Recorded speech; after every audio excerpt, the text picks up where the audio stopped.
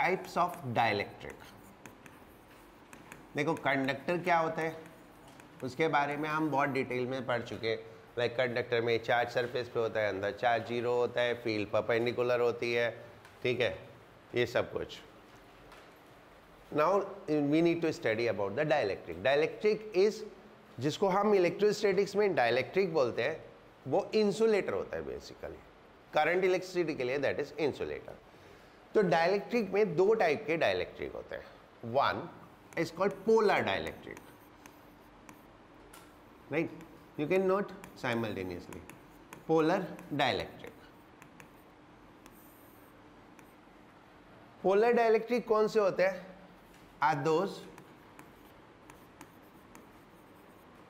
whose molecule have whose molecules have permanent dipole moment. Permanent dipole moment यानी जिसके molecules खुद dipole है। ठीक है? ऐसे डायलैक्ट्रिक जिनके मॉलिक्यूल खुद डाइलेक्ट्रिक है। That is called polar dielectric right example NaCl HCl H2O all this right? अब एन ले लो तो खुद एक डायपोल है। एक चार्ज पॉजिटिव नेगेटिव कुछ डिस्टेंस पे तो डायपोल बन गया। सेम एच का है।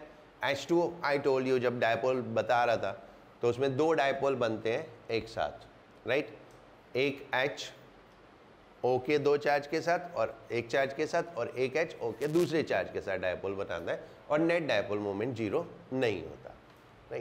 So these are called polar dielectrics. The second non-polar dielectric.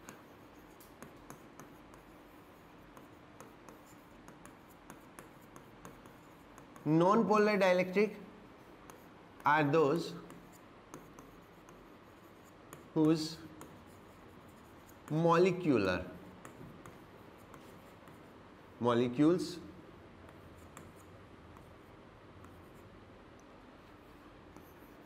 does not,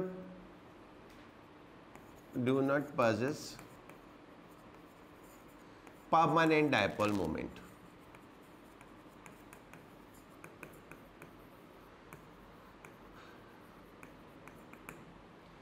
जिनके मॉलिक्यूल्स के पास परमानेंट डायपोल मोमेंट नहीं होता, ठीक है? बिकॉज़ अब मॉलिक्यूल है तो पॉजिटिव चार्ज भी होगा और नेगेटिव चार्ज भी होगा। फिर डायपोल क्यों नहीं है? अगर मॉलिक्यूल है तो इक्वल अमाउंट ऑफ़ पॉजिटिव और नेगेटिव चार्ज होता है तो फिर भी वो डायपोल क्यों नहीं है? Because they are positive and negative charge centre coincide. यानी पॉजिटिव और नेगेटिव चार्ज सेंटर कॉन्साइड कर जाते हैं और उसके बीच में कुछ भी डिस्टेंस नहीं होता। तो dipole never means consisting equal and opposite charge it also must have distance between the charge right अब example CO2 if we look for CO2 this is C, this is O, this is O, right? Now it consists four negative it consists sorry 4 positive it consists 2 negative and it consists 2 negative right so what happens this ये दो positive और दो negative मिलके एक dipole बनाएँगे which is directed from negative to positive ये दोनों negative और दोनों पॉजिटिव मिलके एक और डायपोल बनाएँगे which is directed from negative to positive तो इधर will look in this sense कि दो डायपोल एक दूसरे के अपोजिट क्योंकि वेक्टर क्वांटिटी होती है तो दो डायपोल अगर एक दूसरे के अपोजिट है तो नेट डायपोल मोमेंट क्या हो गया? ज़ीरो हो गया. और we can look the thing in other way like ये हमारा पॉजिटिव चार्ज सेंटर हुआ. ठीक है? और दोनों नेगेटिव का सेंटर भी यही होगा। तो ये नेगेटिव चार्ज सेंटर हुआ। तो then they are charge centre coincide कर गए this other way to look the molecule तो दो डिफरेंट तरीके से हम मॉलिक्यूल को देखते हैं, लेकिन ओवरऑल डायपोल मूवमेंट क्या है? Zero right so these are the two different type of dielectrics या तो वो पोलर होगा या नॉन पोलर होगा there is no third category correct और वो किस पे डिपेंड करेगा? मॉलिक्यूल्स पे। तो अगर आपको मॉलिक्यूल पता है मॉलिक्यूलर स्ट्रक्चर पता है then you can yourself find out if it is polar और नॉन पोलर राइट अब नेक्स्ट पार्ट आता है पोलराइजेशन ठीक है? पोलराइजेशन ऑफ़ डायलैक्ट्रिक ये पोलराइजेशन कुछ नहीं है, जो हम अभी तक पढ़ रहे हैं ना इंडक्शन रीडिस्ट्रीब्यूशन ऑफ़ चार्ज ये वही है. तो polarization is simply the redistribution of charge correct okay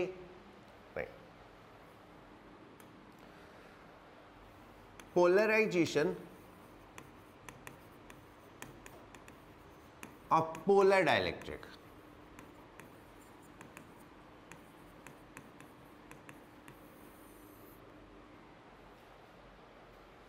ठीक है? Polarization of polar dielectric polar dielectric कौन सा है? जिसके डायपोल्स के जिसके मॉलिक्यूल्स के पास डायपोल मोमेंट है। ठीक है ना?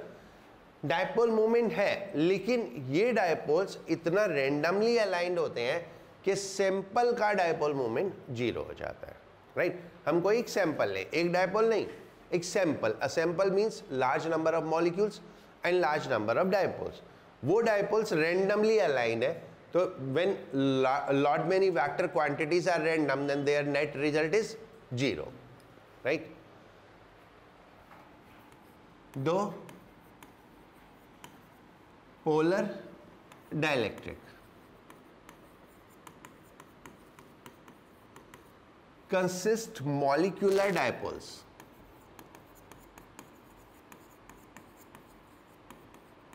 Consist molecular dipole, but in a sample of dielectric, but in a sample of dielectric, these dipoles are in random position. These dipoles are in random position. And net dipole moment. And net dipole moment of dielectric is zero. Right molecular dipoles है but वो dipoles इस तरह से randomly aligned है कि net dipole moment क्या हो गया? ज़ीरो हो गया. So if I draw a sample of dielectric then it will be something like this ये मेरे बहुत सारे डायपोल्स हैं और ये किसी भी डायरेक्शन में हैं.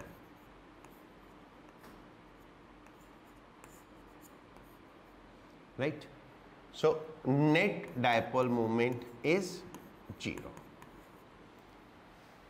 okay सबका मिला के। क्योंकि बहुत सारे एंड बहुत सारे डिफरेंट डिफरेंट डायरेक्शन में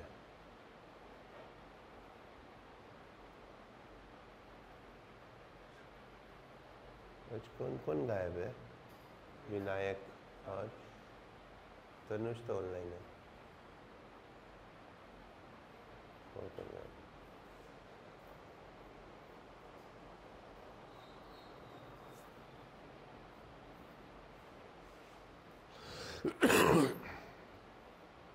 okay right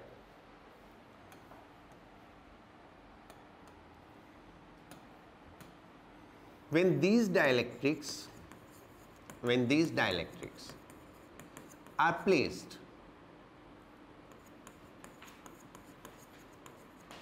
in external field. अब हमने क्या किया? इन डायपोल्स इन डायलेक्ट्रिक को एक्सटर्नल फ़ील्ड में प्लेस कर दिया। एक्सटर्नल फ़ील्ड में कैसे?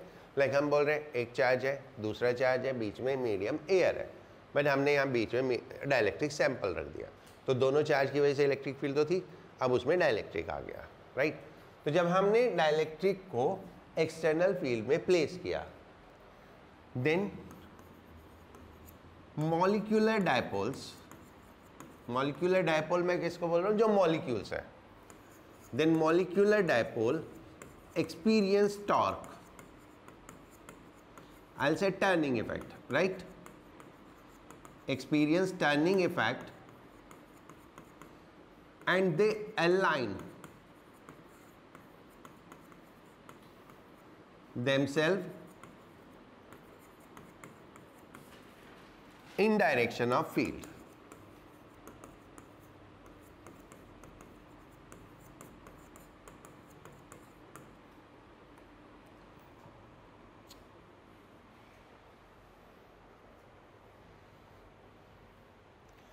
and they align themselves in direction of field okay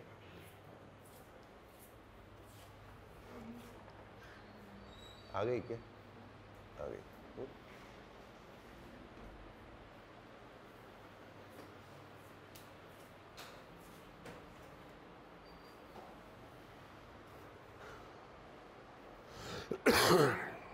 ये बताया था मैंने वैसे टॉपिक एक दो क्लास पहले।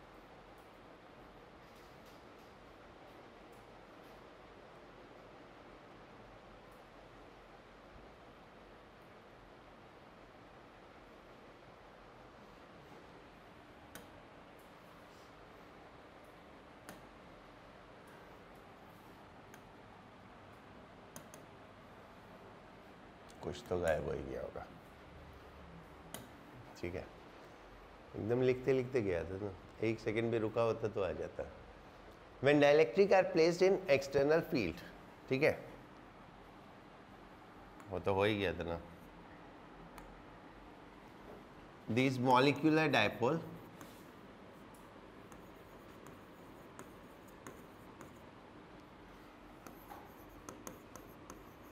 align themselves in direction of electric field and dielectric acquire and dielectric acquire net dipole moment यानी जो पहले ज़ीरो था अब वो ज़ीरो नहीं रहा। So what happen it is something like this हमने ये इलेक्ट्रिक फ़ील्ड अप्लाई की external electric field E naught and ये हमारे डायपोल ऐसे अलाइन हो गए।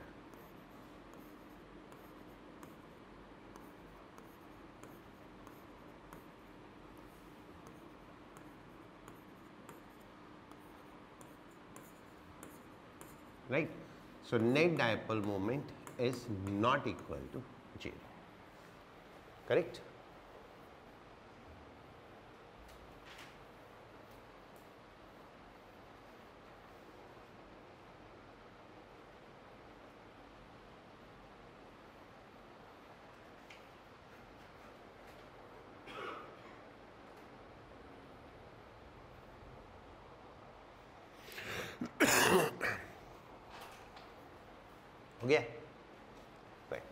ये था polarization of polar dielectric right ना polarization of non polar dielectric ये हो गया ना बच्चों? Tanush, Jyoti.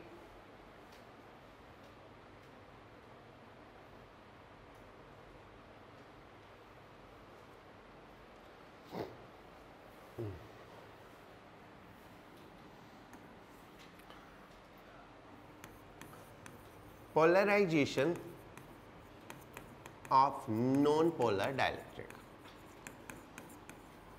Fact, polar हो या नॉन पोलर हो एक बार इलेक्ट्रिक फ़ील्ड में डाल दिया बोथ आर सेम दोनों पोलराइज होते हैं। ठीक है? तो इसलिए तो हम जनरल डायलैक्ट्रिक को कैटेगराइज नहीं करते। होंगे जो अब तक हम पढ़ रहे थे हमने कभी कैटेगराइज नहीं किया डायलैक्ट्रिक को क्योंकि इलेक्ट्रिक फ़ील्ड में प्लेस किया तो दोनों का बिहेवियर सेम होता है right when a sample of when a sample of non-polar dielectric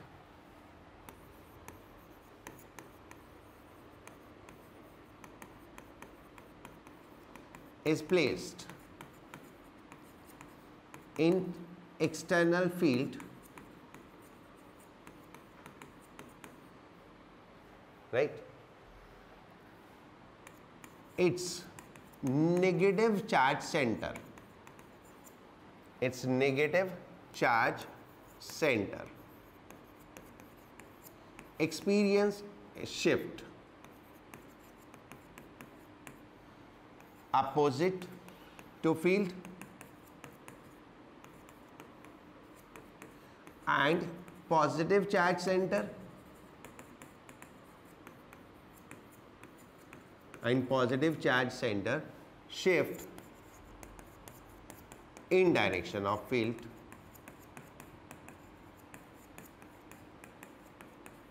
Creating a distance between both.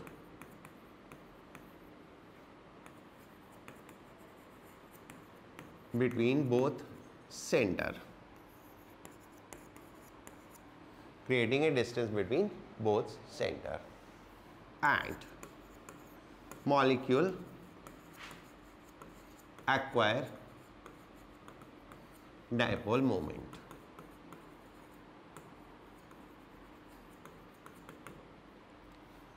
and molecule acquire dipole moment so if we talk about ये हमारा centre था ये सैंपल था इसमें कुछ मॉलिक्यूल्स थे जिनके पॉजिटिव और नेगेटिव चार्ज सेंटर कॉन्साइड कर रहे थे।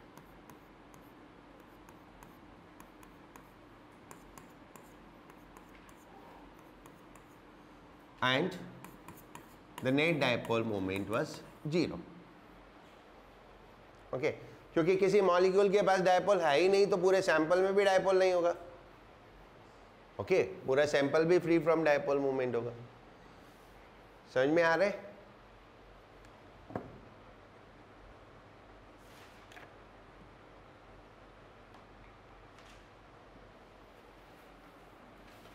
अब हमने क्या किया? इसको इलेक्ट्रिक फ़ील्ड में प्लेस किया। एक एक्सटर्नल इलेक्ट्रिक फ़ील्ड लगाई E naught right then what happen they become like this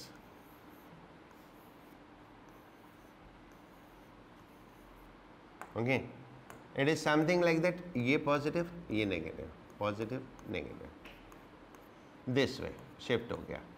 क्योंकि नेगेटिव चार्ज पे फोर्स किधर लगती है? Opposite to electric field and positive charge पे फोर्स किधर लगती है? इन डायरेक्शन ऑफ़ फ़ील्ड तो positive charge in direction of field shift होगा और negative charge in direction opposite to field shift होगा। तो दोनों के बीच में डिस्टेंस क्रिएट हो गया। And they become dipole right so now P is not equal to 0. That's how they get polarized.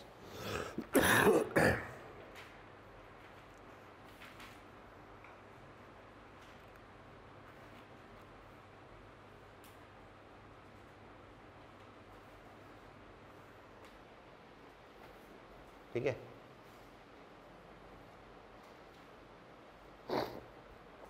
हो गया? राइट ना इससे रिलेटेड कुछ physical quantities that is polarization अभी तो पोलराइजेशन प्रोसेस पढ़ रहे थे हम। ये एक फ़िज़िकल क्वांटिटी है पोलराइजेशन एंड इलेक्ट्रिक susceptibility. इसको साई से डिनोट करते हैं। साई ई शाई सी एच आई एक पी एस आई होता है, एक सी एच आई होता है है ना?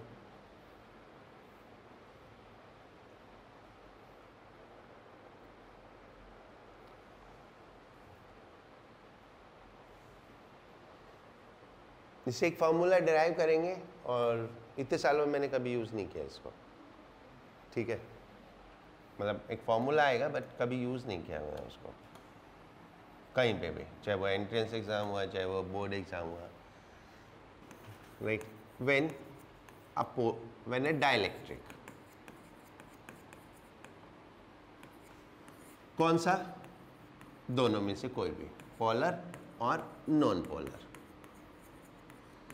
is placed in external field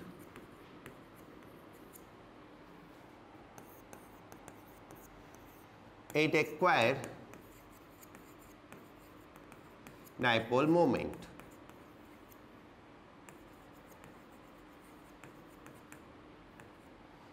right this induced dipole moment इसको हम बोलते हैं इंड्यूस्ड और यहीं से वर्ड होता है इंडक्शन राइट कि जो डायपोल मोमेंट आया, इसको हम बोलते हैं इंड्यूस्ड डायपोल मोमेंट और यहीं से फिर वर्ड फ्लो होता है इंडक्शन वाला. And this is also called as phenomena of induction.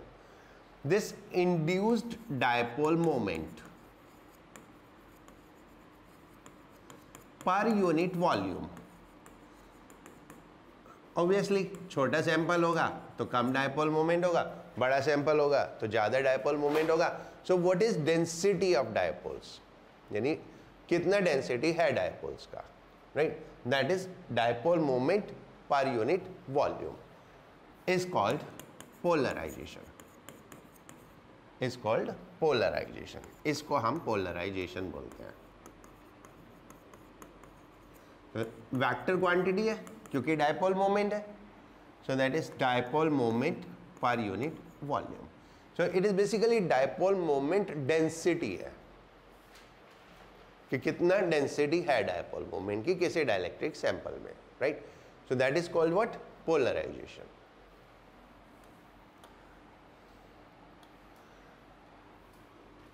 polarization is directly proportional to applied field. Obviously हम जितनी स्ट्रॉन्ग फ़ील्ड अप्लाई करेंगे, उतना ज़्यादा पोलराइजेशन होगा। ठीक है ना? इसीलिए तो इंड्यूस चार्ज ज़्यादा होता है, अगर हमारा अप्लाइड चार्ज ज़्यादा होता है। ठीक है? अगर हम कम चार्ज पास में लेके आएँगे तो कम इंड्यूस होगा। ठीक है? तो जितना व्हील स्ट्रॉन्गर होता जाएगा, उतना डायपोल मूवमेंट भी ज़्यादा इंड्यूस होगा। So this polarization is directly proportional to electric field यानी P is proportional to E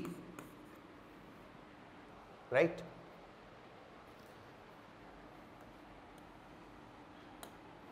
And p, मैं वेक्टर फॉर्म में नहीं लिख रहा, वैसे लिख रहा हूँ। Where psi E is constant of proportionality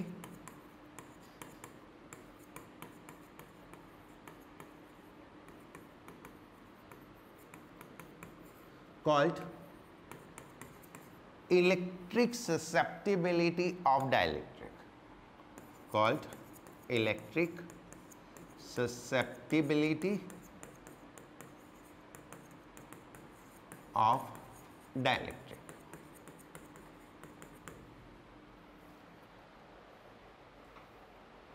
Right? So basically susceptibility क्या है? Ease of polarization. Ease of polarization. कम फ़ील्ड में ज़्यादा पोलराइज हो जाए so that is what ease of polarization correct ठीक है? सेम फ़ील्ड में ज़्यादा पोलराइज हो रहा है तो ससेप्टिबिलिटी ज़्यादा है कम पोलराइज हो रहा है तो ससेप्टिबिलिटी कम है. या ये कहे जिस डायलेक्ट्रिक की ससेप्टिबिलिटी ज़्यादा है, वो ज़्यादा पोलराइज होगा, जिस डायलेक्ट्रिक की ससेप्टिबिलिटी कम है, वो कम पोलराइज होगा. Right that's why accordingly dielectric constant introduce होता है फिर। Okay okay?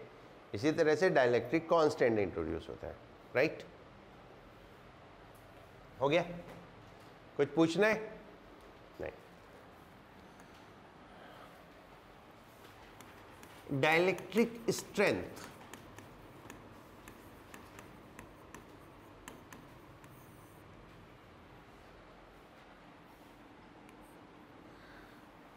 अब डायलेक्ट्रिक स्ट्रेंथ क्या है? देखो, एक डायलेक्ट्रिक है, उसमें डायपोल है। चाहे पोलर हो, चाहे नॉन पोलर हो, एक पॉजिटिव चार्ज है, एक नेगेटिव चार्ज है। यह हमारा डायपोल हुआ। एक पॉजिटिव चार्ज एक नेगेटिव चार्ज हमने इसको इलेक्ट्रिक फ़ील्ड में डाल दिया।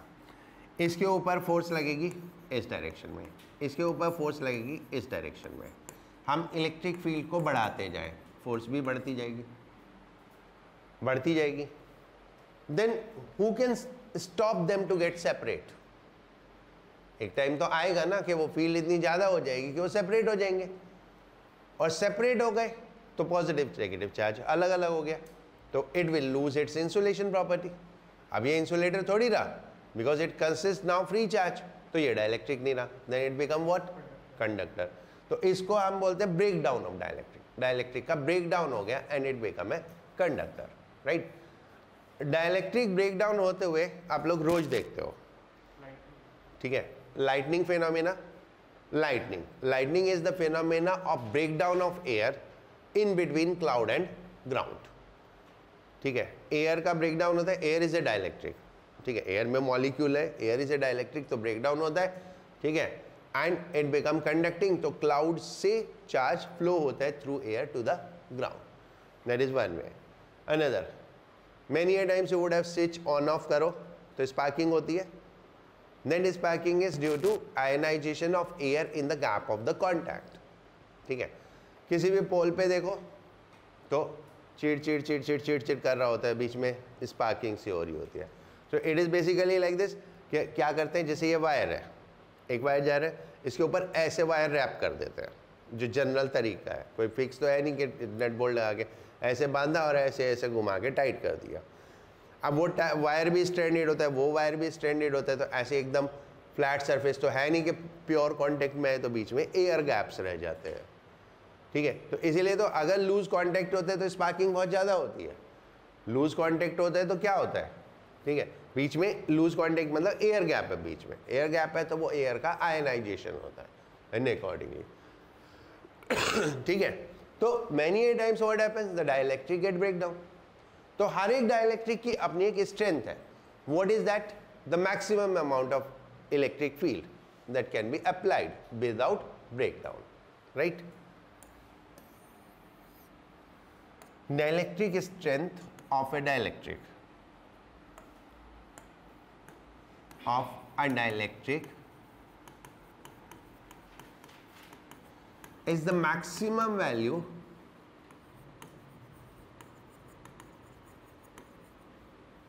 is the maximum value of electric field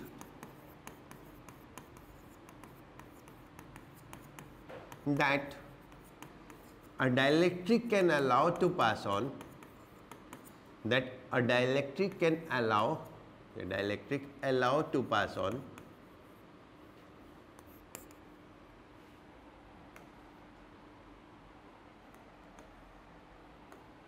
allow to pass without breakdown. यहाँ पे break down means ionization of medium यानी आयनाइजेशन हो गया। The break down means clearly ionization होना। Okay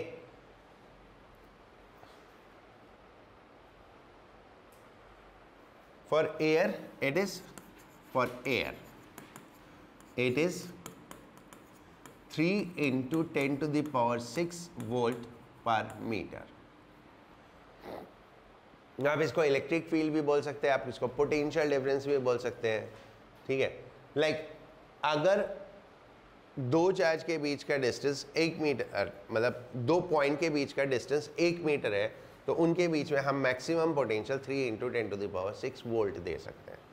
That is what is the meaning of the potential volt per metre और इसको electric field बोलते हैं right two points at a distance of 1 meter can have maximum 3 into 10 to the power 6 volt right and that will be the dielectric strength of air इतना clear है इसमें कुछ पूछने नहीं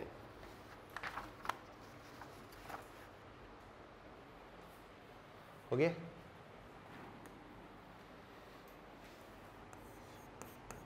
induced field inside dielectric.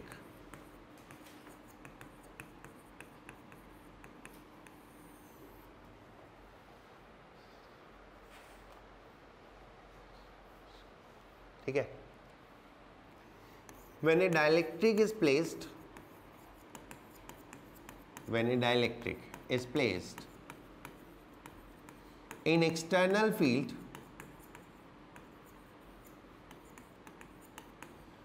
it get polarized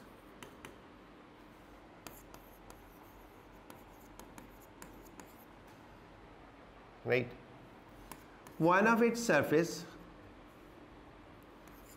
one of its surface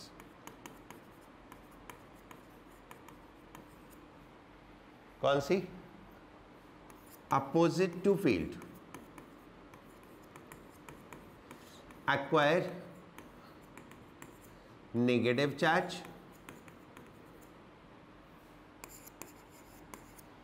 and other कौन सी? In direction of field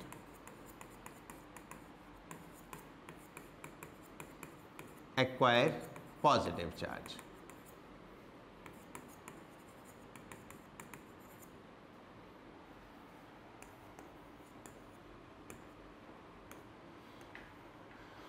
this induced charge this induced charge right आप induced dipoles बोलो induced charge बोलो ठीक है एक ही बात है this induced charge produce its own field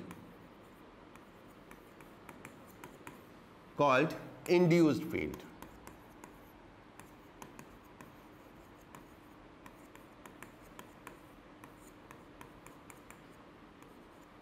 EI which is opposite to applied field.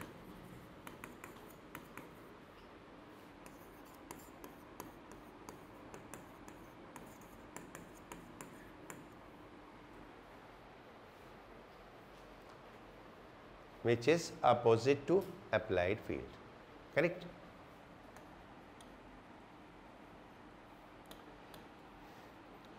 ये हमारा डायलैक्ट्रिक है। ये हमने एक्सटर्नल फ़ील्ड लगाई ई नॉट तो ये सरफेस पॉजिटिव हो गई। ऐसे ही होता था। और ये सरफेस नेगेटिव हो गई। ये सरफेस नेगेटिव हो गई right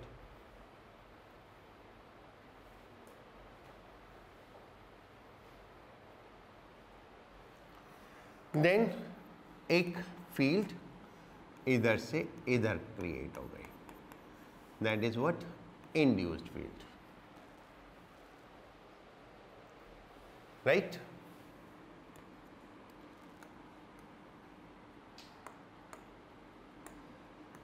net field in net field E is equal to E nought minus E I क्योंकि दोनों अपोजिट है। ठीक है? एंड रिमेंबर देखो, मैंने यहाँ पे वैक्टर साइन नहीं यूज़ किया क्योंकि मैं नेगेटिव साइन यूज़ कर रहा हूँ। It means I have taken the direction sense on my on already कि ई नॉट की ए डायरेक्शन ही है अपोजिट है तो नेट कितना बचा? This minus this if I will use the vector sign then I will take plus ठीक है?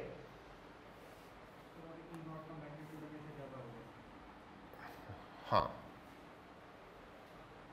But E is equal to E nought by K ये हम शुरू से पढ़ते आ रहे हैं। के इज़ वट अब तो गड़बड़ मत करना। कौन सा होता है ये? हाँ डायलैक्ट्रिक कांस्टेंट ठीक है? So induced field is equal to E nought one minus one by